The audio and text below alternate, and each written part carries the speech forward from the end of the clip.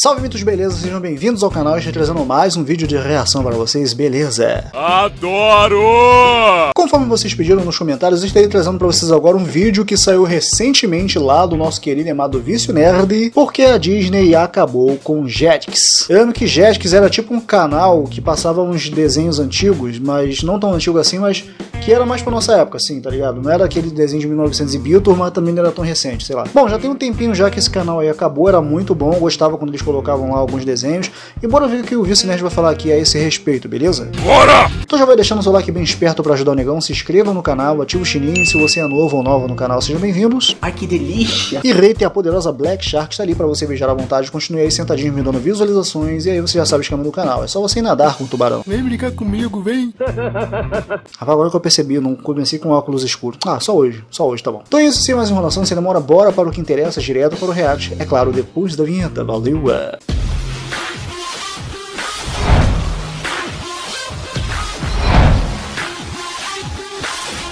Alexandre Nária. Se você já procurou episódio de desenhos antigos na internet, você provavelmente já deve ter se deparado com essa logo aqui. Hum, Bom, ele Jetix. foi o Jets.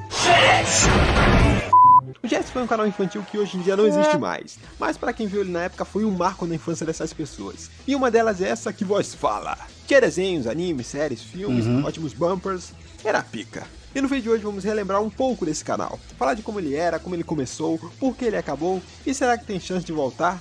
Todas essas perguntas serão respondidas ao longo deste vídeo aqui, com base Opa. em pesquisas e não em apenas nostalgia. Apesar disso ser um pouco inevitável. Mas antes de começar, por favor, te peço, deixa o like maroto aí, cara, se você gostar muito desse vídeo. Twitter, Twitter, Twitter, Instagram, tudo no comentário fixado. se você quiser participar do nosso servidor no Discord, está no comentário fixado também o link. E agora, sem mais enrolação, vamos começar! Bora. Bom, antes de começar, eu só queria falar que algumas informações deste vídeo aqui foram baseadas no vídeo do canal Monster Review, que também fez um vídeo falando sobre os Jets. Porém, o vídeo dele foi mais focado nos Jets lá dos Estados Unidos e como o canal funcionava mundialmente. Foi um vídeo bem detalhado até. Já que nesse vídeo vai ser um vídeo mais resumido e falando como era o canal aqui no Brasil. E é claro que antes de eu falar sobre os Jets, você precisa entender melhor um pouco a história do seu antecessor, que era a Fox Kids. Fox Kids. Que é aquele canal que várias pessoas já fizeram vídeo falando sobre, mas ninguém fez vídeo falando sobre o Jets. É, Jets, você foi esquecido. Mas não por mim. E relaxa que vai ser algo bem resumido, cara, porque é na moralzinha, velho. Já estamos de saco cheio de ouvir a mesma história sempre. O ano era 1996 e o canal Fox Oh. Kids era lançado na América Latina e em quase toda a Europa. Esse nascimento do canal se deve a uma joint venture entre a Fox e a Saban, que era dona de Power Rangers na época. Porém, na terra do tio Sam, a Fox Kids já existia desde 1990 no canal Fox, como um bloco infantil. Sim, como um bloco, não como um canal. No Brasil, a marca era um sucesso estrondoso, mas nos States o bloco foi decaindo cada vez mais com o passar do tempo, até que em 2001 a marca foi vendida para a Walt Disney Company. E renomeou o bloco para Jets e moveu ele para os canais ABC Family e Toon Disney, ambos da Disney. Não! Enquanto no Brasil e no restante da América Latina, a marca Fox Kids foi usada até 1 de agosto de 2004, quando o canal se tornou Jets. Ou seja, lá nos Estados Unidos, o Jets não era um canal como era aqui, e sim um bloco que era exibido nos canais ABC Family e Toon Disney.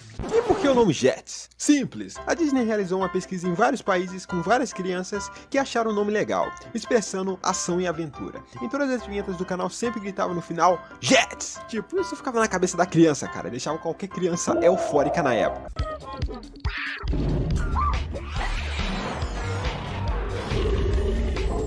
Caraca, eu lembro disso daí.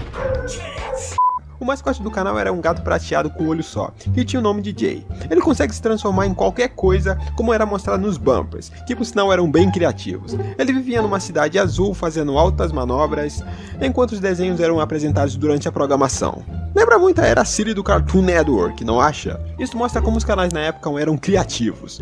Ao contrário de hoje em dia que é um bagulho sem sal e açúcar. Mas chega de É enrolação verdade. e vamos falar da programação do canal. No lançamento do canal, o Jets ainda tinha várias coisas que eram da época da Fox Kids, como o Pica-Pau, Inspetor Bugiganga, Três Espiãs Nossa. Demais, Sorriso Metálico, Power Rangers, Tartarugas Ninjas, Os Padrinhos Mágicos, além de blocos que também eram da época da Fox Kids, como o famoso Invasão Anime. Não perca um segundo de invasão anime. Shaman King. Caraca. Beyblade. Digimon 4. Músculo total. Caraca, que nostalgia, cara. Só anime. Eu assisti todos esses aí, cara, na moral. Mega Man. Invasão Anime. Só no Jetix. Além do bloco Misteria, Mano. que exibia filmes e séries de terror para criança. Terror para criança, isso é estranho. Além do bloco de filmes chamado Cinescópio. E além dessas séries que eram do tempo da Fox Kids, o Jets também tinha produções novas que eu amava, cara. Mano, sério. Eu amava essas puras. Como Buka, Yin Yang Yo, Super Esquadrão de Macacos Robôs, Ciência Travessa, Dave o Bárbaro, Chaotic e Witch. Mano, esse daí era melhor que o Winx, mano. Yeca! Além de desenhos que hoje em dia são Não fala de Winx não, hein, caramba. Pô, qual é? pô, desenho da Winx é desenho pra macho, pô. Macho alfa. São bem obscuros e difíceis de achar episódios dublados, como Dragon Buster, Urban Star Racers, Futebol Galáctico, Get Ed, além de diversos outros desenhos que eu não vou poder citar aqui porque é uma lista infinity. E outros lá como Code Louco, é, se eu não me engano aquele lá da Escola de Ninjas, enfim, era um monte. Outra coisa que era da hora era o site do canal, mano, que era muito bonito. Era cheio de joguinhos, curiosidades e coisas marotas. O site eu nunca cheguei a acessar não, mas eu, quando eu via passando assim no comercial de mostrando, eu achava bem da hora. Mas eu acho que eu não tinha nem acesso à internet nessa época. Isto é coisa de pobre. E eu vou te contar um belo segredinho. O Jets era meu canal favorito de quando eu era criança. Sério, mano, eu achava esse canal melhor que o Cartoon Network na época. Isso porque a maioria dos desenhos que passavam no Jets eram praticamente os mesmos que passavam na TV Globinho. E quando eu tive acesso ao canal, mano, eu fiquei maravilhado. Ao invés de eu assistir um bloco de desenhos de apenas 3 horas, eu agora tinha acesso a um canal com 24 horas com os mesmos desenhos. Mano, era o canal que passava os Padrinhos Mágicos. Padrinhos Mágicos era o meu desenho favorito de quando eu era criança. Eu era apaixonado por ele. E o legal do- dos Padrinhos Mágicos é que, embora ele seja pra criança, mas se você for parar pra analisar ali muita coisinha que era mostrado, que era falado, não era muito pra criança não, era de adolescente pra jovem, adulto ali. O negócio era meio louco, mas mesmo assim era, era da hora, cara. Esse daí foi um dos melhores desenhos que eu já vi também, na moral. Eu assisti tanto que eu gravei quase todas as frases do desenho. Foi por pouco. Não, pouco é o espaço. Faz dieta, né? O desenho era muito bom, cara. Pelo menos foi até aquele bebê chato nascer, depois ficou horrível. Mas sério, era muito bom, cara. Principalmente quando tinha o Noite Mágica. Esse só os fortes se lembrarão. Mas pera, pera, pera, pera, pera, pera. Como a produção original da Nickelodeon passava em um canal que era controlado pela Disney, sua concorrente. Quem liga pra isso? O importante era que passava, né? Dane-se os detalhes. Tô zoando, gente. Mas não temos tempo pra isso. Porém, nem tudo eram flores. Porque, como eu disse, nesse vídeo aqui eu não vou basear em apenas nostalgia, mas também vou apontar alguns erros do canal. O Jets, a partir de 2008, mais ou menos por aí, começou a decair um pouco na qualidade da programação. Começou a colocar vários desenhos bons em horários ruins, tirou vários outros da programação, como por exemplo o bloco Invasão Anime, que foi extinto lá por volta de 2007 a 2008, por aí. E tinha isso daqui também. Estás viendo Buka, luego Jin Yang Yo y más tarde Los Padrinos Mágicos. Beleza, agora repita isso de novo, de novo, de novo. Sim, o canal vivia reprisando esses três desenhos insanamente. Falando sério. Esse Power Rangers. Mas como eu era uma criança na época, eu nem ligava na real. Pra falar a verdade, eu até gostava um pouco. Mano, eu amava esses três desenhos. E passando toda hora, é claro que eu ia gostar, né? Esse da Puka era mó engraçado, cara. Na moral, essa Puka é mó sem vergonha, mas era mó, mó legalzinho o desenho. Mas se eu fosse um pouco mais velho e com senso crítico, eu não ia gostar. Hum. Ou seja, eu ia ser um cara rabugento que nem eu sou hoje. Outro erro que o canal cometia, e esse era bem grave, é que ele tinha a péssima mania de não exibir alguns programas por completo. Sim, vários desenhos e animes não tiveram seus episódios finais exibidos no Jets, e o exemplo mais famoso disso é Sonic X. Sonic X! Dos 78 episódios que o anime tinha, o canal só exibiu 65 episódios, e ninguém Nossa. sabe o motivo de eles não terem exibido o resto. Esse daí eu nunca cheguei a assistir, não. Nunca cheguei a assistir. Eu acho que tem na Netflix, se eu não tô enganado, mas enfim. sei lá, baixa audiência, vai saber. Isso fez os episódios dublados finais ficarem perdidos por anos na internet. Até que uma alma bondosa conseguiu achar os episódios inéditos que foram ao ar na Globo e postou na internet. E finalmente conseguimos ver essa cena final dublada. Apesar de ser a versão horrível da 4Kids. É tenso, né? Mas fora isso, o canal até que era muito bom, cara. Os bumpers do canal eram bem bonitos e criativos. A programação do canal costumava ser bem variada, com desenhos de ação e comédia. E o mascote do canal era bem fofinho, cara. Vamos concordar, hein? E também o canal, pelo menos aqui no Brasil, costumava ter uma audiência bem confortável na maioria das vezes. Não porque o canal só durou 5 anos e depois se transformou nessa porcaria aí que é hoje. Bem, é. Eu diria que a culpa maior foi da matriz. Jura? Que bom, geralmente é minha. Como eu disse, o Jetix lá nos Estados Unidos não era um canal, e sim um bloco era exibido nos canais ABC Family e Toon Disney. Em 2006 o bloco saiu do ABC Family e ficou apenas no Toon Disney, que ocupava boa parte da programação. Porém, em agosto de 2008, a Disney anunciou que faria uma reformulação nas marcas Toon Disney e Jetix. O Toon Disney seria totalmente reformulado em um novo canal chamado Disney XD.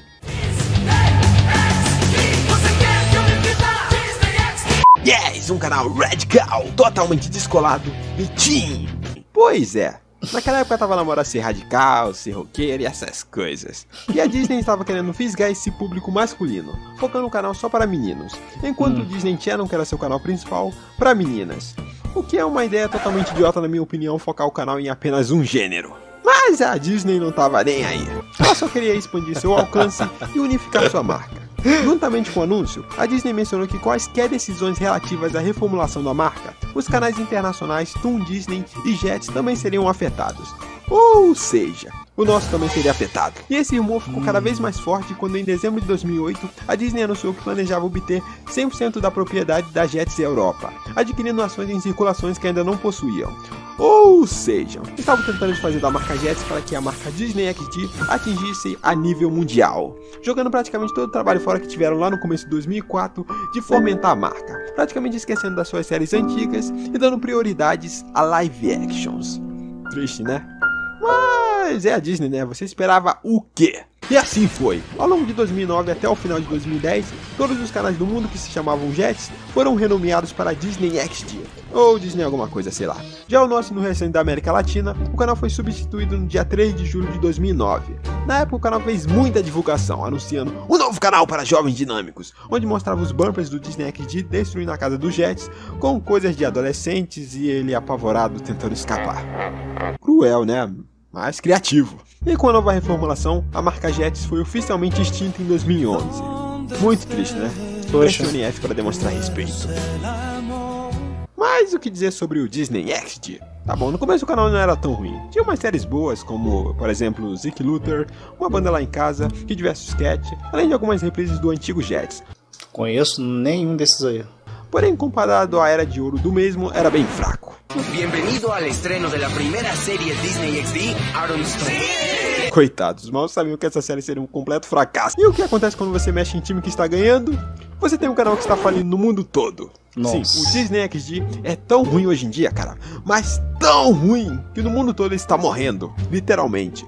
Ele já deixou de ser exibido em vários países. Em alguns países, como a Índia, ele se transformou no Marvel HQ, um canal que só passa conteúdo da Marvel. Em outros países, ele simplesmente deixou de existir junto com o Disney Channel para dar prioridades ao Disney Plus, uma nova plataforma de streaming da Disney. E acredito que não vai demorar muito para acontecer o mesmo aqui. O canal hoje em dia aqui no Brasil tem uma das piores audiências da TV paga.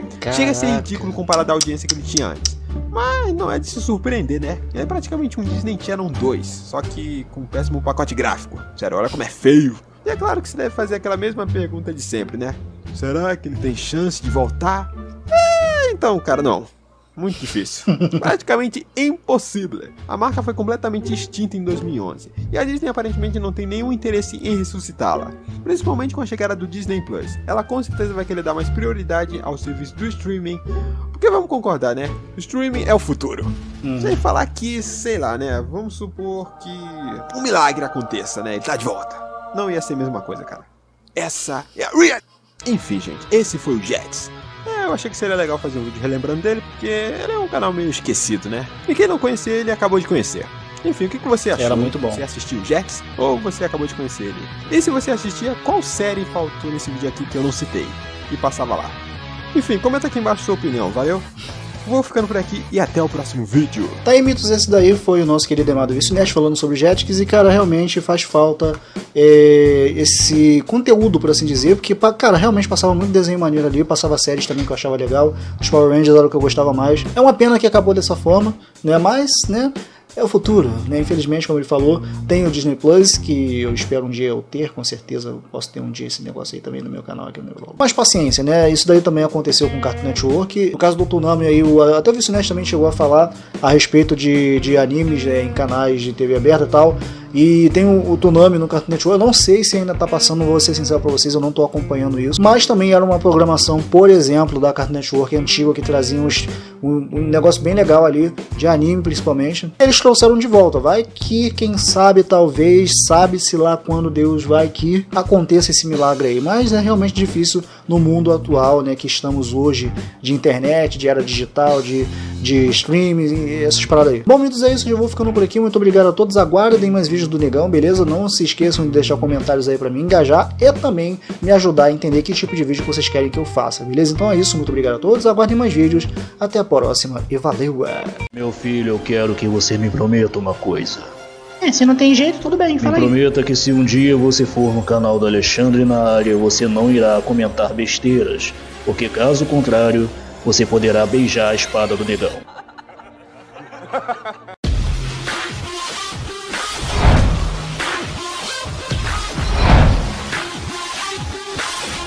Alexandre na área.